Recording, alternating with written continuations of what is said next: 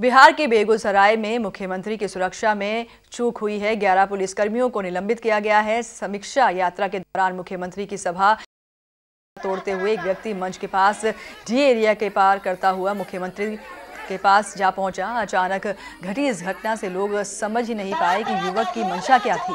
बाद में मुख्यमंत्री के निजी सुरक्षा गार्डों ने युवक को जैसे तैसे जो है डी एरिया से बाहर निकाला।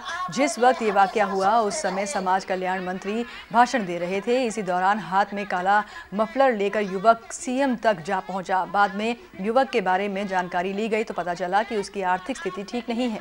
वो अपनी बहन की शादी कराने की बात मुख्यमंत्री से कहना चाहता था। इसी कारण ये तरीका अपनाया गया। बहरहाल, युवक का इस तरह सुरक्षा घेरा तोड़कर चर्चा का जो है विषय बन गया है।